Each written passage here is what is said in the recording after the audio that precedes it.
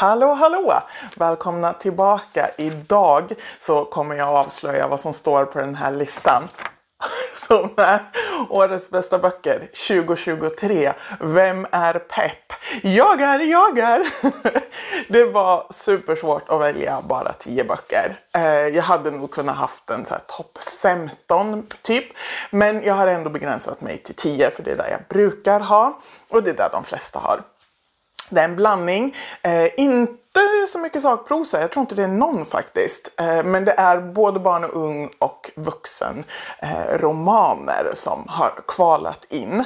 Eh, som vanligt när jag så snabbt gör en reflektion över hur mitt läsår är så brukar jag alltid tycka att det var dåligt. Så här, men jag har inte haft ett så bra läsår.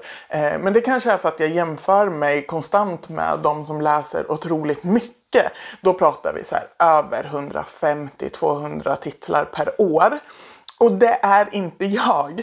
Eh, jag har mitt mål varje år satt på Goodreads till 50 böcker, det vill säga en bok i veckan.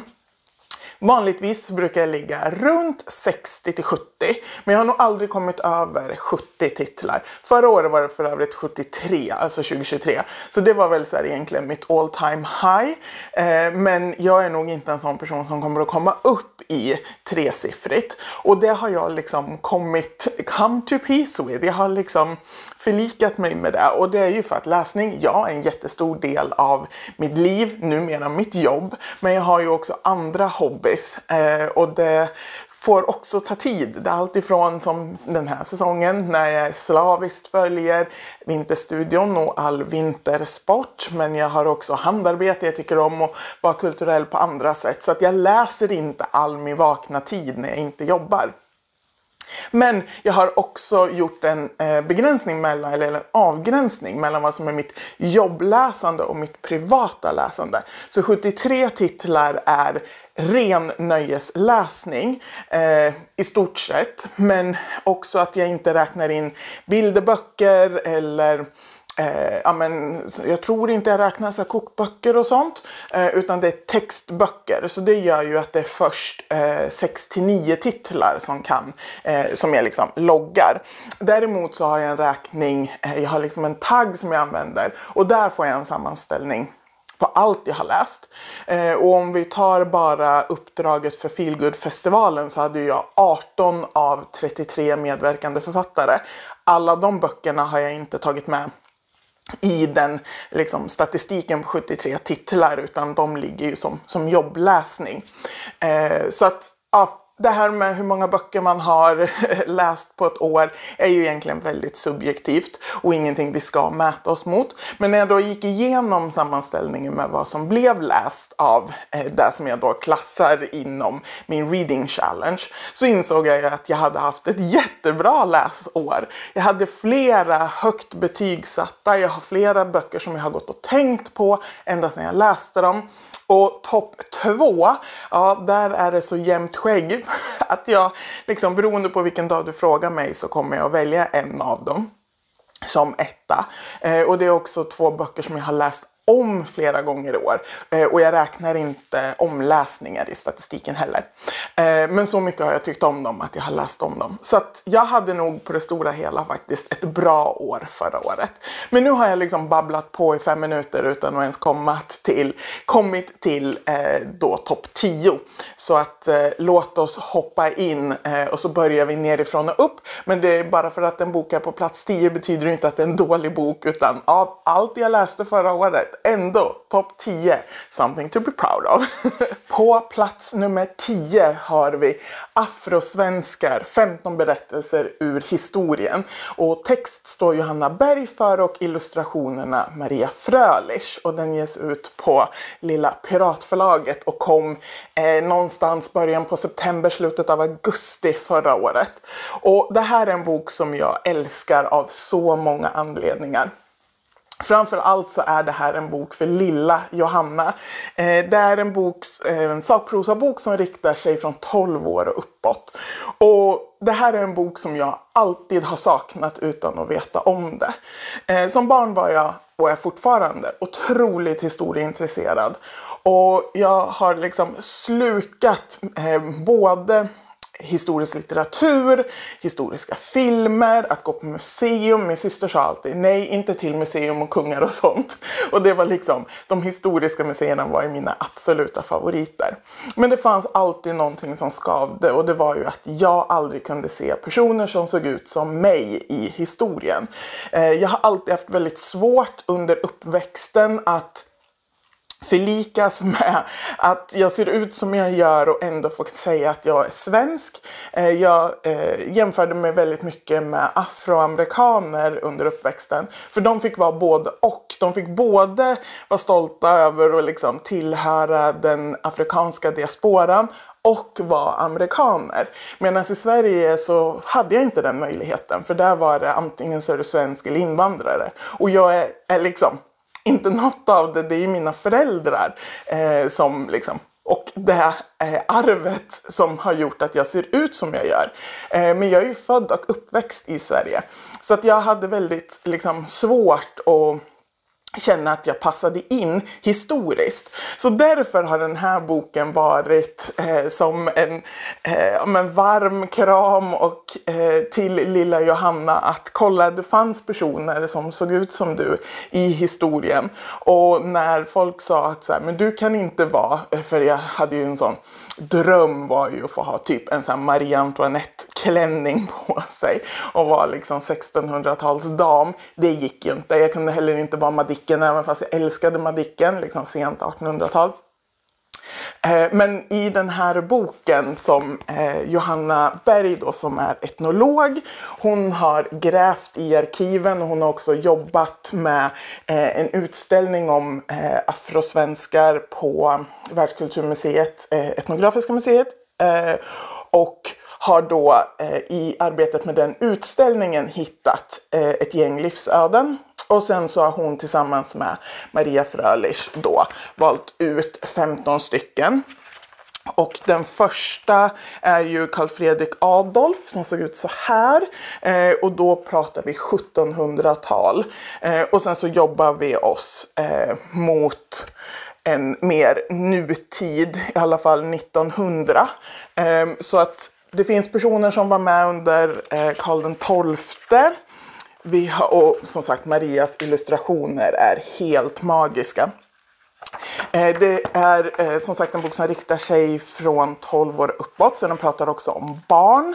Eh, och min nästa, så, om jag får klä ut mig historiskt, kommer ju vara Betty Bull Bäckström. Alltså hur cool är inte hon? Hon var barnmorska under Eh, mitten på 1800-talet i eh, Dalarna och här finns också en bild. Så de har varvat både bild och eh, liksom, autentiska bilder med Maria Frölichs eh, illustrationer. Eh, det här är en bok som jag tycker att alla skolor ska ha. En bok som ska vara med i undervisningen parallellt med historieböckerna. På samma sätt som det nu har blivit en självklarhet att vi berättar den samiska historien i eh, den svenska eh, historieskrivningen så tycker jag också också att eh, den afrosvenska ska få vara en självklar del. Så jag hoppas att skolor köper in den och att den finns tillgänglig eh, för många eh, barn och unga i vårt land. Men också för personer som inte identifierar sig eller inte har ett afrosvenskt ursprung för att se, få en breddad bild av eh, historieskrivningen. Så ja, nu finns det personer som jag kan få eh, både tänka på och identifiera mig med men också ha personer som har gjort häftiga saker som ser ut som mig som eh, jag kan få liksom, vara stolt över att vi eh, tillhör samma Eh, grupp på något vis. Så det var eh, en lång rant om afrosvenskar men jag tyckte otroligt, otroligt mycket om den och är så tacksam till eh, gentemot Lilla Piratförlaget och Erik Titusson som eh, har eh, sett till att den kom ut. Plats nummer nio då, eh, ja, då har vi en eh, grafisk roman som jag inte kan sluta att tipsa om och som jag inte kan sluta att tänka på. Och det är Världens sämsta syster av Elin Lindell som ges ut på Alfabeta. Eh, och det här är som sagt en grafisk roman. Eh, Elin har ju tidigare skrivit eh, kapitelböcker framförallt. Eh, de om Jonny Jonsson Jonsson tror jag han heter. Eh, men det här är eh, Dannys berättelse och den är då i eh, grafiskt eh, format, så det är text och bild blandat. Och hon växer upp tillsammans med sin ensamstående mamma och vill mest av allt i hela världen ha ett syskon och tjatar och tjatar och tjatar om det. Och så en dag säger mamma, nu så ska din önskan slå in, du ska få ett syskon. Och Danny ser ju framför sig att det kommer att vara ett litet gulligt, en liten gullig bebis, men det är det inte. det är en finnig tonåring eh, som är mammas nya pojkväns eh, tonårsson. Eh, och det här är en så otrolig fantastisk bok. För den är den är varm, den är rolig, men den är också liksom sorglig på sina ställen. För även om det är fantastiskt att, eh, ja, att Dannys mamma då har träffat någon, vilket är kul för henne, eh, så behöver Danny flytta, byta bostadsområde och därmed också skola med allt vad det innebär att nu bo tillsammans med andra människor efter att ha bott med eh, bara hon och mamma tidigare. Så det handlar också om vänskap, om att passa in, om att hitta sin egen eh, plats och röst. För det finns en eh, kille i klassen som hon börjar i som hon är helt övertygad om att de är ju syskon. För de ser ju likadana ut, de har likadana eh, intressen och han är också ett provrörsbarn, eh, precis som Danny. Eh, och det liksom blir som en jakt i att eh, få reda på hur det ligger till där men också berätta det för honom. Spoiler alert, de är inte där. Eh, och den här har jag tipsat allt och alla om eh, sen jag läste den tidigt i höstas för jag tycker den är fantastisk. Jag hade så gärna sett att den nominerades till Augustpriset så att ännu fler fick upp ögonen för den. Men en given plats på min årsbästa lista hade den helt klart. Och den här går jag och bläddrar i eh, titt som tätt och för oss vuxna läsare, eh, passa på att titta på mammans t-shirtar för de har hysteriskt roliga budskap på sig. Som är en sån där detalj som barn kanske inte tänker på. Och den här riktar sig eh, från 9 år uppåt, 9 till 12 eh, är den klassificerad som. Och jag längtar ju efter nästa bok av eh, Elin Lindell och vi får se då om det blir en grafisk roman eller om det blir en eh, textbaserad eh, bok som de om Jonny. Men eh, det var plats nummer 9. Plats nummer 8 erhålls av en eh, novellsamling som eh, kommer från Belgien och det är eh, Bättre aldrig än sent av Chica Unigue och den ges ut på Flo förlag och är översatt av Hanna Axén. Och den här läste jag tidigt förra året och föll huvudstupa eh, liksom för, för jag tyckte den var helt fantastisk. Lite med eh, anknytning till afrosvenska, eh, afrosvenskar, den boken, för det här är personer från eh, jag tror det är Nigeria, som nu bor i eh, Belgien. Eh, och det handlar om livet i diaspora, om att passa in, om språk, om hur du känner att du hör hemma. Är det där du har kommit till, där du kommer ifrån? Eh, och vad är det som gör att någonting känns hemma? Och det är eh, sammanlänkade noveller, så de går att läsa helt fristående. Men eh, vissa av karaktärerna kommer att komma igen i några av novellerna. Eh, och det handlar om hemlängtan, om eh, att förlora ett barn, om eh, ja, men, kärleksrelationer och relationer till föräldrar. Och det här var en bok som gjorde att jag liksom kände att jag var där. Eh, för det pratas om mat, om dofter, jag hör hur de liksom pratar och ja, det var en liksom helt otrolig läsupplevelse. Och pricken över i var ju att jag sen fick möjlighet i november när Chica var på Sverigebesök och samtala med henne på Gamla Stans bokhandel. Och då kunde jag ju liksom ställa ännu mer frågor av sånt som jag var nyfiken på när jag hade läst den. Eh, så att det här var en fantastisk in, eh, introduktion till Chicas författarskap och det kommer att komma en bok till i svensk översättning men annars så finns det eh, ett gäng att läsa på engelska och jag är så glad att Flo förlag eh, gav ut den här på svenska. Den har också ett helt fantastiskt omslag som ju alla deras böcker har. Eh, så en novellsamling som jag tyckte jättemycket om och som jag också går och tänker på väldigt ofta. Eh, de olika karaktärerna. Så att eh, ja, den kändes också helt given att komma med. Och på plats sju har vi ytterligare en bok som jag har gått och tänkt på och läst eh, stycken ur flera gånger. Och det är Stubbrötter av eh, Marie Hollander som ges ut på Itlit. Och det är en eh, poesisamling. Och här har jag gjort något så hemskt som att vika hundöron och det gör ju inte jag i vanliga fall. Men det var liksom för att komma ihåg vad det var jag hade läst och vilka som var mina favoriter. Och vilken favorit det är sen. För eh, det här är en eh, diktsamling som handlar om landsbygden och som den lantis jag är i själ och hjärta även fast jag inte bor kvar på landet. Eh, jag är ju inte uppväxt på en bondgård, jag är uppväxt på en eh, bruksort i mellersta Södermanland. Så ungefär 11 mil sydväst från Stockholm. Men har hela mitt vuxna liv bott i eh, storstan. Eh, men kan så känna igen där Marie skriver om hur eh, storstadsborna ser på de som bor på landet eller landsbygden. Hur landsbygden ser på storstadsbor. Hur ekonomin är centrerad till storstäderna. Men att det finns otroligt mycket människor som bor kvar på landsbygden, eller bor kvar men bor på landsbygden. Och hur man har liksom urholkat och glömt bort. Eh, och lite så, den här kom ju efter pandemin för det jag märkte av var ju hur så här, storstadsbor nu skulle så här, flytta ut på landet för det var ju där de kunde för att folk jobbade hemifrån.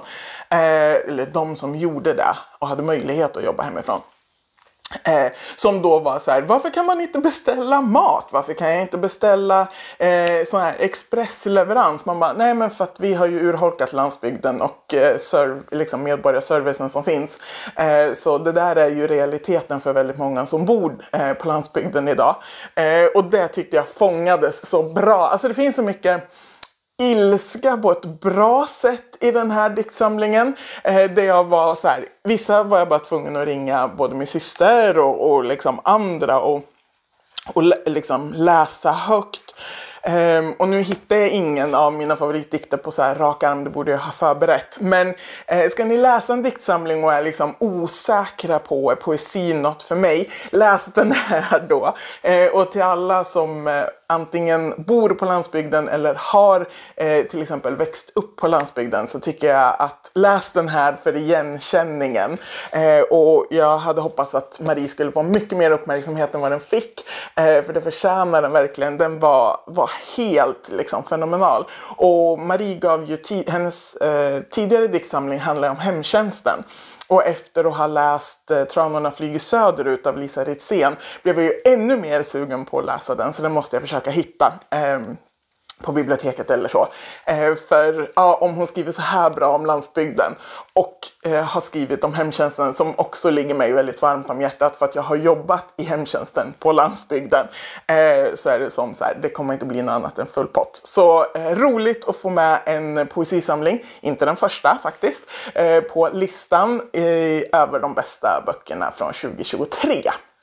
Och som min kompis Karina säger, över till bandyn. Eh, för nu blir det någonting helt annat. På plats nummer sex har vi Vandrande själar av Cécile Pang. Eh, och den är översatt till svenska av Peter Samuelsson och ges ut på Nirstedts förlag. Det här var en bok jag läste i vår... Nej, jag läste den nog Eh, kanske tidigt i höstas eller i somras. Men den kom i maj förra året. Eh, och det är en alltså en bok som jag går och tänker på jätteofta. Eh, Cécile Pang har själv föräldrar som har utvandrat från, eh, jag tror det är Vietnam. Ja, det är det. Eh, så att hennes familjehistoria har hon inspirerats av men det är ren fiktion.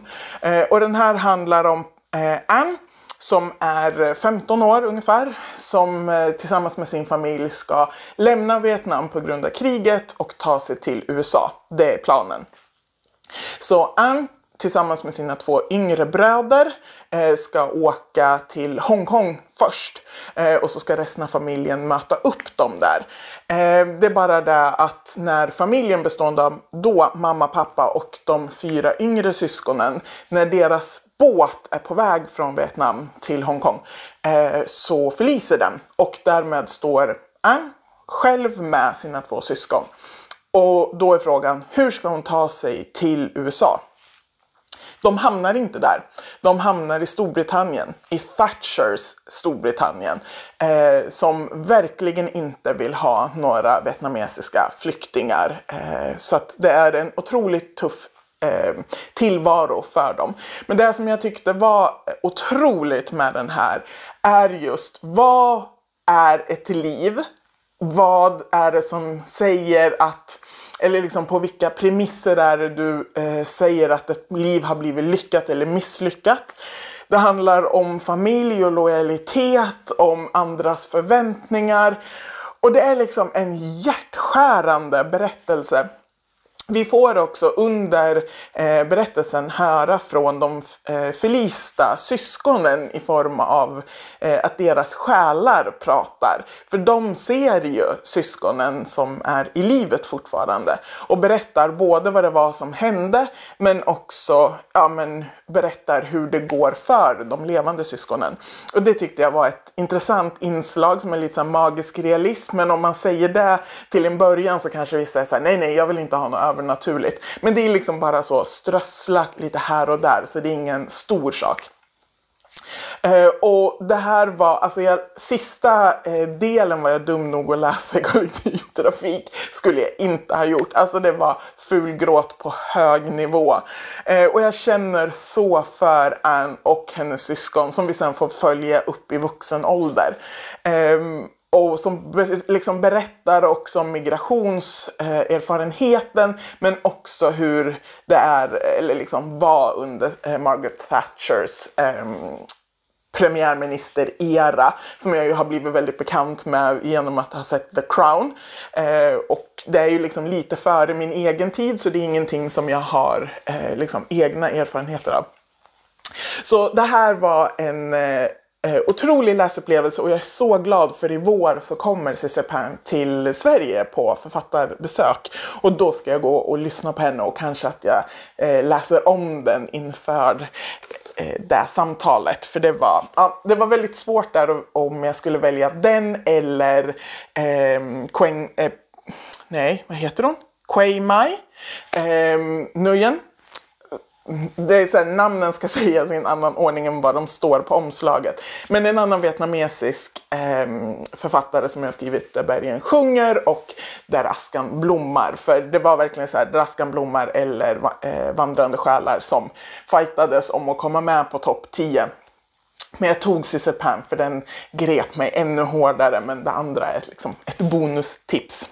Och på plats nummer fem, ja nu blir det liksom nu är det så tight. nu är det liksom det bästa, jag, vissa av dem det bästa jag någonsin har läst. Eh, och det var i somras så hade jag en riktig så läsa eh, kvinnohistoria alla Kerstin Thorvall typ. Och då tog jag äntligen tag i Tove Ditlevsens eh, första bok. Hon har ju, de är egentligen tre böcker, men Natur och kultur på svenska valde att sätta ihop barndom och ungdom. Och de här eh, är det Ninni Holmqvist som har översatt. Nej, Vanja Lantz är det. Eh, och det här är ju en självupplevd berättelse om Toves då barndom och sen även ungdom. Och så finns ju eh, den tredje och sista delen som heter Gifta eller Gift. Eh, och den har jag inte hunnit till. Eh, vilket blev en bra påminnelse för att jag borde verkligen ta och läsa den för att jag älskade den här. Eh, det är en ung Tove med eh, enorma ambitioner och självförtroende. Hon är liksom, jag ska bli poet, det vet hon från en väldigt ung ålder. Hon växer upp i en väldigt fattig familj och hur hon liksom både tar sig an eh, skolan och utbildningen och önskan om att få läsa vidare. Men det kan hon inte på grund av att familjen inte har pengar. Så hon tar liksom jobb som hon inte trivs med alls, som sekreterare bland annat. Allt för att liksom tjäna sitt levebröd så att hon kan skriva. Eh, och slutdelen av ungdom kommer ju handla om hennes ungvuxen tid och då eh, också hur hon blir publicerad. Och det är liksom kort korta men kärnfulla kapitel och jag var bara så här helt uppslukad eh, och tyckte jätte, jättemycket om den här. Eh, så jag påminnelse till mig själv, läs Gift och eh, för er som ännu inte har läst Tove Ditlevsen, gör det. För det här är liksom, ja, Ja, det är fantastiskt. Eh, jag tänkte lite på Betty när jag läste av eh, då Katarina Widholms eh, Räkna hjärtslag Värma händer och kära vänner. Ehm, men, eh, och det är nog så här, hon är inte ett hembiträde men det är på något vis samma tid och era för ehm, det är eh, 1920-tal så det kommer ju vara liksom mellan världskrigen och sen också när andra världskriget kommer eh, som skildras. Så att, ja, Tove Ditlevsen alltså, vilken, eh, vilken fantastisk skribent och författare hon var. Nu har hon ehm, Eh, hon lever tyvärr inte längre. Och är heller inte den första danskan på den här listan. För eh, hon följs ju av eh, det senaste stora stjärnskottet. Nämligen Solveig Balle! och den första boken om uträkning av omfång. Den här däremot är eh, översatt av Nina Holmqvist, eller hur? Jajamensan. Ehm, och det är ju den första i en planerad septologi.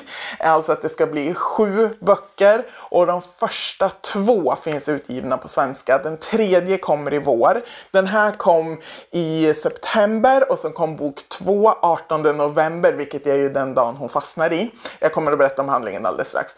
I vår så kommer då del eh, tre och sen i höst del fyra och den danska eh, nummer fem tror jag precis har kommit. Eh, så att vi är liksom Snart kommer vi vara parallellt med danskarna i eh, berättelsen om Tara Shelter som tillsammans med sin man Thomas jobbar med antika böcker som de köper och säljer. Och Tara hon bor med sin man i en okänd slash påhittad stad i Frankrike eh, och har besökt Paris och en mässa där. Eh, så när boken börjar så är det där hon befinner sig och märker efter ett tag att vänta nu när den där hotellgästen tappar sin eh, brödbit på golvet. Det hände ju igår. Och när hon tar upp tidningen så är det gårdagens tidning, tänker hon, för hon ska ju vara på den 19 november. Men har fastnat på den 18 november. Och så börjar det om. Och om igen. Så eh, Tara, hon, hennes tid är liksom linjär medan för alla andra är den cirkulär. De kommer aldrig, både de och hon har liksom fastnat. Så efter ett tag så beger hon sig hem till Thomas och han blir så här förvånad för hon ska inte komma förrän nästa dag och hon är så här, fast egentligen är det ju nästa dag. Men den handlar också om ensamhet.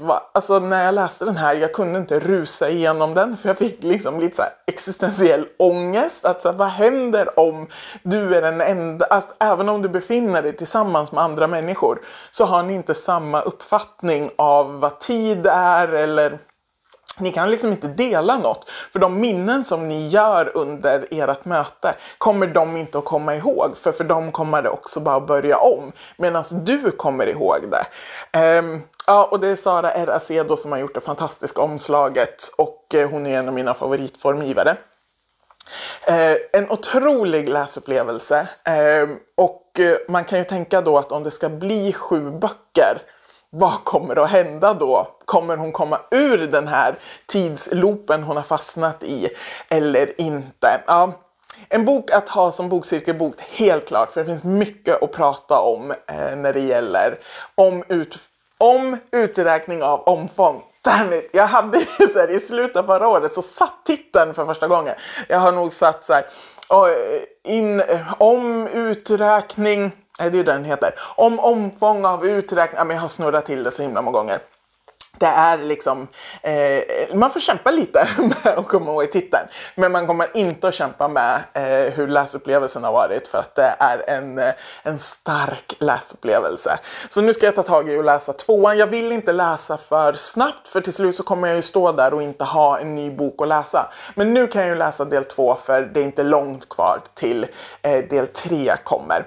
Eh, Solveig Balle är också en av jordens mest fantastiska människa. Alltså hon är så charmig. Eh, och jag var och lyssnade på henne på bokmässan och i vår så kommer hon, eh, eller jag var faktiskt först och eh, käkade lunch med henne och några från förlaget.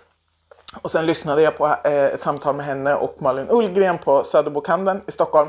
Eh, och det måste ju ha varit, kan det ha varit typ var det innan sommaren eller efter sommaren? Hur som helst så kom hon, nej men det måste vara efter sommaren för sen så eh, var jag och lyssnade på henne igen på Bokmässan i Göteborg och träffade på henne igen.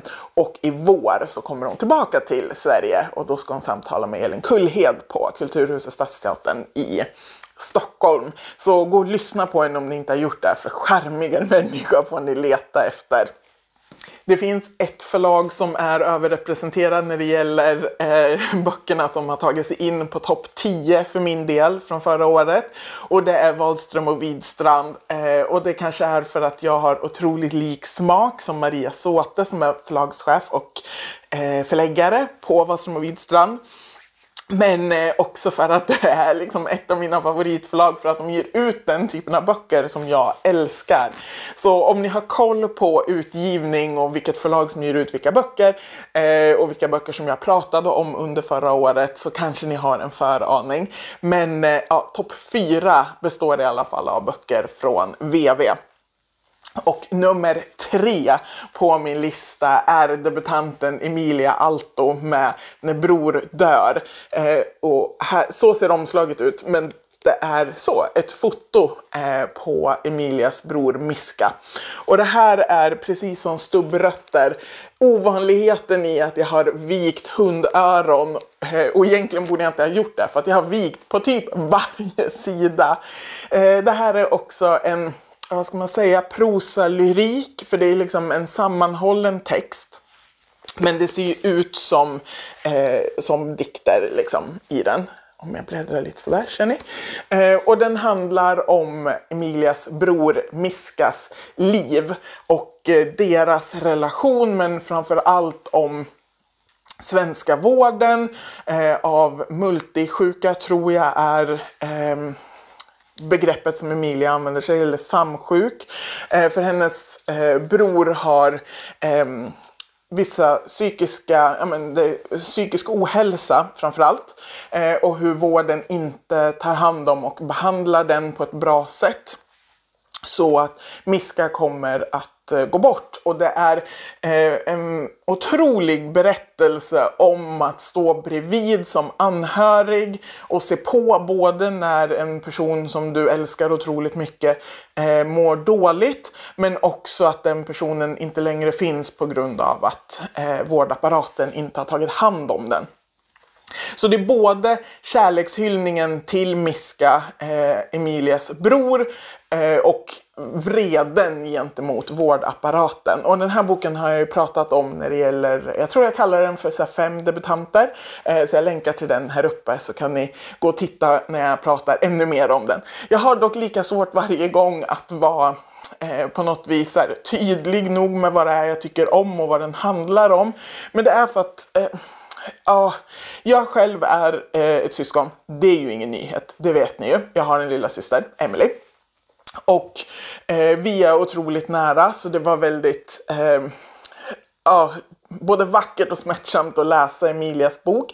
Eh, min syster, precis som Emilias bror, har haft det väldigt kämpigt. Eh, vi har gått igenom otroligt mycket, eh, precis som Emilia och Miska. Ehm, så det fanns väldigt mycket att känna igen där. Min syster har varit eh, väldigt, väldigt sjuk i en ätstörning. Ehm, så att det, ja, det fanns väldigt mycket där i framförallt hur vården inte tog hand om Miska som jag kunde känna igen i hur den inte tog hand om min syster. Och när jag slog igen den och hade läst den, den här har jag läst flera gånger, in, inte i ett svep men jag har läst om vissa delar väldigt många gånger ehm, så kände jag bara en sån tacksamhet att jag fortfarande får ha min syster här i livet och att hon är frisk idag. Ehm, och mitt hjärta går sönder för Emilia som inte får ha kvar sin bror. Men När bror dör är en otrolig kärleksförklaring till honom. Eh, så har ni inte läst den än så gör det. Och jag kände redan när jag liksom slog igen den första gången att det här kommer att vara en av årets bästa läsningar för mig. Eh, och det har kommit att bli ett av livets bästa läsningar för mig. Eh, den är otroligt stark och berörande. Eh, så ja, stash i ser fotot ut så kan ni se det igen. Eh, Emilia Alto, alltså När bror dör. Och då har vi kommit fram till topp två och det är så svårt att välja. Det är så svårt att välja för båda de här böckerna är liksom all time high favoriter för mig. Jag har läst om dem tre gånger eh, av olika anledningar och de är lika bra om inte bättre för varje gång jag läser dem. Och det är så svårt att välja. Um, men då gör jag det nu. Men som sagt, jag hade kunnat tagit dem i en annan ordning en annan dag. På plats två, även den från Wahlström och Widstrand, är Utanpå verket av Kristin Nord. Och nu blir jag så här blödig och emotionell. Eh, men det här är en sån fantastisk, fantastisk roman som kom i våras och är Kristins debutroman.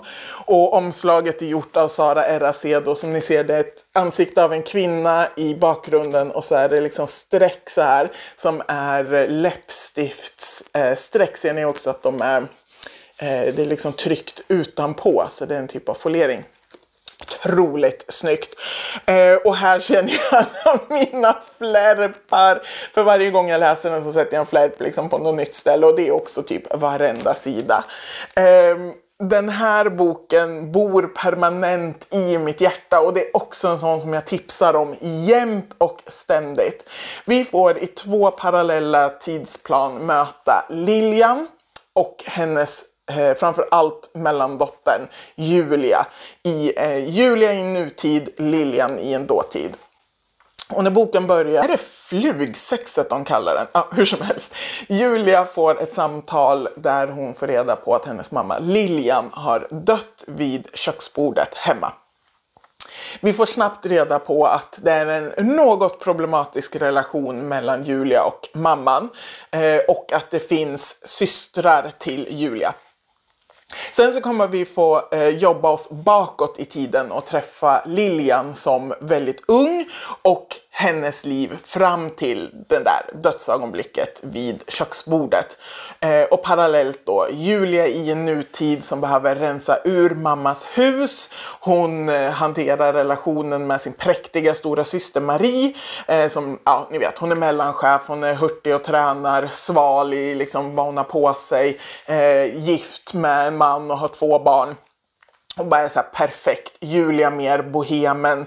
Eh, hon är eh, journalist, bor i Malmö. Syrran och hennes familj samt mamma bor i Göteborg. Och när vi då får följa Lilian och hennes liv och resa så är det en eh, dotter till en ensamstående sömmerska som eh, tar sig fram i livet och som sen kommer att träffa, heter han också Thomas, hennes man? Eh, borde jag ju komma ihåg efter att ha läst den så många gånger. Eh, och han är akademiker och genom äktenskapet med honom så kommer Lilian att göra en klassresa. Fast det är egentligen inte hennes klassresa. Och lite om ni har läst eh, Maj-böckerna eh, av Kristina Sandberg så kommer ni att känna igen det där med att liksom gifta sig uppåt i klasshierarkin. Eh, och att navigera i det. Eh, för Lilian sen kommer att få först Marie, sen Julia och sen dottern Josefin som eh, har en, ett begåvningshandikapp Ehm, så hon kommer liksom att behöva mycket mer omvårdnad och när vi träffar dem i vuxen ålder så bor eh, lilla syster på ett eh, assisterat hem för att eh, ja, hon kan inte ta hand om sig själv helt enkelt. Och det gör att Lilian kommer att bli väldigt låst i sitt hem genom att hon behöver ta hand om barnen. Eh, och den här ensamheten skildrar eh, Kristin eh, på ett sånt otroligt vackert sätt. Eh, men också betydelsen av vänskap och kvinnlig vänskap. Eh, och sen så får vi då reda på att eh, när Lilian börjar att dricka och när vi då får Julias perspektiv i liksom att växa upp med mamma som alkoholist så kan man ändå få så här försonande eh, insikter när man läser Lilians del. Eh, och den här är, den är, nu vill jag läsa om den en fjärde gång. och jag har följt Kristin sedan länge, länge, länge. Eh, när hon tillsammans med Maria G. Franke på Sydsvenskan där Kristin jobbade som journalist förut. Eh, hade bloggen och podden eh, Nord och Franke. Så när jag läser den här, för dels så förknippar jag både Maria och Kristin med den här eh, att de klarar av att vara både och. Det är både saker som läppstift och färg och flärd och sådana saker men också det så här, otroligt intellektuella samtalet som de hade i podden och eh, ja, de som personer bara. Och det är precis så den här boken är. För Lilian är besatt av ytan, hens eh, läppstiftet och att hålla en viss fasad. Och så bakom det så finns det någonting helt annat. Och i podden, jag tror det är poddens första avsnitt, så pratar Kristin och Maria om eh, Kerstin Torvall och liksom, vad hennes författarskap har betytt för dem och så. Och det här är ju Kerstin Thorvalls Arvinge. Alltså det är verkligen så här, har du läst Kerstin Thorvall och tycker om henne så kommer du tycka om och älska Kristin Nord. Eh, och det är så, ja, ah, det är så mycket med den här boken eh, som jag älskar. Och i maj i anslutning till att den kom ut så hade jag den stora förmånen att få göra ett författarsamtal med Kristin på min Instagram. Eh, och jag länkar den i beskrivningen så kan ni gå och titta om ni inte redan har gjort det. Men alltså jag älskar Utanpåverket älskar, älskar, älskar utanpåverket. Så any other day så hade det här kunnat vara min topp 1. Men ja, det är så delad första plats. För eh, ettan på min lista då, också på Wahlström och Widstrand, har vi Maud Martha av Gwendolyn Brooks i en utmärkt, övers utmärkt översättning av eh, Marianne Tuvesson som är en av mina absoluta favoritöversättare. Och omslaget är ju som alla andra favoritomslag gjorda av Sara R. Acedo. Eh, och det här är en eh, fantastisk, fantastisk eh, skildring av ett liv. Alltså den är på blott 120 sidor, eller 130 sidor, men det är inklusive efterordet av eh, Margot Jefferson som också är en eh, författare och eh, kritiker. Men det här är det enda, eh, den enda romanen av Gwendolyn Brooks som framförallt var verksam som poet och det var också där hon belönades med Pulitzerpriset som är USAs finaste litterära pris. Eh, inte bara en gång utan två gånger om jag inte missminner mig. Och Maud Martha var hennes enda roman. Eh, den kom ut samma år som James Baldwin debuterade och eh, Ralph Ellison kom ut med Invisible Man. Två andra svarta författare som liksom tog allt syre på sätt och vis och blev liksom fixstjärnor. Medan Gwendolyn Brooks eh, och hennes Maud Martha hamnade mycket mer i skuggan och sen till slut blev eh, tyvärr bortglömd. Hon blev mer känd just som eh, poet. Den kom 1953 och det är först eh, 2023 som den publicerades utanför USA för första gången. Eh, och då kom den eh, först då ut i eh, Storbritannien på Faber och i Sverige sen i november på Wahlström och Widstrand. Och jag kommer ihåg när Maria Såte som är förläggare berättade om den här boken första gången. Eh, och sen när den då kom i eh, utgåvan på Faber så köpte jag den i början av förra året, jag tror det var februari. Läste den, älskade den och sen var det bara lång väntan till Marians översättning skulle komma. Jag hade förmånen att få översättningen digitalt eh, så snart den var klar, läste den älskade den ännu mer och sen så kom den då i fysisk form i november. Eh, och då läste jag den en tredje gång och bara, ja, den höll lika väl om inte bättre vid omläsning. 1917 när hon föds och vi kommer sen att röra oss mot eh, ja, framförallt då eh, 50-talet eftersom den ges ut 53. Där andra världskriget nämns i en paragraf eh, och det är liksom det är så bra. Alltså, jag har svårt att prata om den för att jag vet liksom inte var jag ska ta vägen för det finns så mycket jag vill lyfta.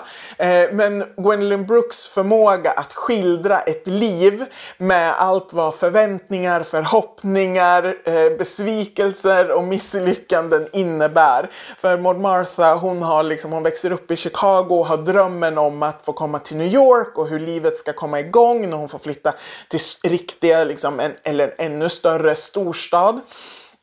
Och när hon sen gör det och vilket liv hon sen får och vad hon gör med det livet. Alltså på, på inga sidor alls. Alltså det är så här, Knausgård, ta anteckningar. Det är så här du skriver ett mästerverk eh, om ett liv. Inte behövs några sex volymer. Ah, x antal hundra sidor per bok.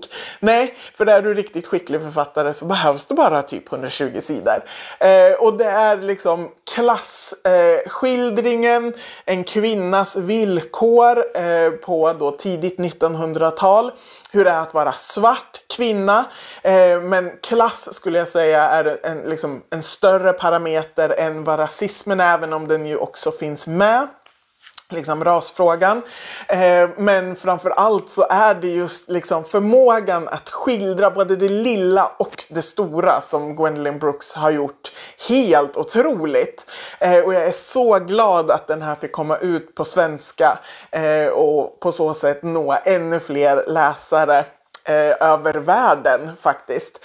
Eh, för det jag tyckte var liksom helt otroligt är just Gwendolyn Brooks förmåga att med språket eh, liksom skildra den här kvinnans liv men också samhällsutveckling och eh, ja, men saker som jag kan liksom känna igen sen när jag läser till exempel Kristin Nords bok. Så eh, det här var verkligen en av eh, förra året och livets läsupplevelser som jag är eh, otroligt glad och tacksam för att jag har fått. Eh, jag tänker jätteofta på Maud Martha och nu i vår kommer Wahlström och Widstrand att ge ut som en eh, syskonbok till den här i Diane Olivers Grannar och andra noveller som eh, första gången de ges ut i bokform faktiskt. Som också är en eh, svart ung amerikansk eh, författare som har fallit lite i glömskan. Eh, och för er som gillar till exempel Agatha Christoph så kan jag verkligen rekommendera den här för där har vi också en person som, eller en författare som är så, här, så otroligt skicklig med språket att i även det återhållsamma och det som inte sägs så sägs jättemycket. Hur Maud Martha liksom kan stå och förbereda en, maträtt och samtidigt reflektera över livet och man blir så här, ah, det var så många gånger som jag bara fick lägga ner boken och bara ta en andningspaus för att det var liksom som att någon bara vidgade något i huvudet på mig. På ett positivt sätt, liksom att jag såg världen på ett annat sätt. Alltså den här är fenomenal! Så har ni inte läst den så borde ni verkligen göra det så snart som möjligt. Eh, kan väl tisa om att den här kommer att dyka upp snart igen. Eh, för att jag älskar, älskar, älskar den så otroligt mycket. Eh, och Margot, Margot Jeffersons efterord är också otroligt bra och sätter liksom boken i ett Eh, i en kontext och förklarar mer vilken tid det var den gavs ut i och hur den mottogs eller vad som gjorde att den inte blev eh, en självklar klassiker som till exempel Baldwin eller Ellisons eh, romaner blev.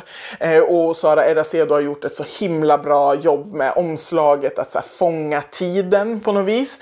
Eh, jag är så glad att det blev ett sånt här omslag snarare än att sätta något modernt, liksom, eh, vad ska man säga, ja, men någonting, den här skildrar tiden tycker jag på ett så himla fint sätt och också så ovanligt att få se en svart kvinna på ett omslag som gör mig helt nipprig av, eh, eh, av glädje. Ja, det här är verkligen en läsupplevelse utöver det vanliga som det också finns jättemycket att prata om i och med att det skildrar ett helt liv. Eh, så ja, jag älskar den. Jag älskar den och nu blir jag sugen på att läsa om den igen. Och det var mina 10 favoriter från 2023. Vad hade ni för favoriter från förra året? Och har ni läst någon av de böckerna som jag pratar om så får ni som vanligt hemskt gärna lämna en kommentar och så fortsätter vi att prata om dem. Eh, härmed är 2023 liksom stängt och vi blickar framåt. Nästa video kommer att vara vårens böcker 2024. Eh, och sen som sagt, som jag sa i min eh, åter eh, heja här igen video, så kommer jag att prata om de böcker från 2023 som jag inte redan har hunnit göra en sån här vad blev läst i en viss månad. Men de kommer att då komma i temaform. Eh, så de här böckerna kommer ni säkert att få höra om igen om det var så att jag läste dem under sommaren eller hösten som ju eh, ja, under min oplanerade paus inte blev pratad om. Det här var en lång video så har ni klarat